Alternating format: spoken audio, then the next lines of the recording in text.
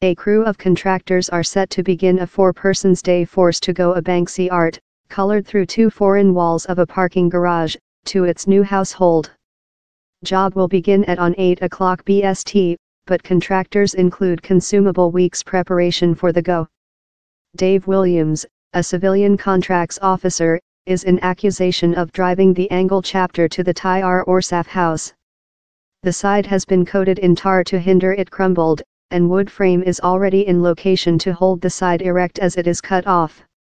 If all goes to schedule, a crane will be utilized to raise the sections of cut side onto a car on environment.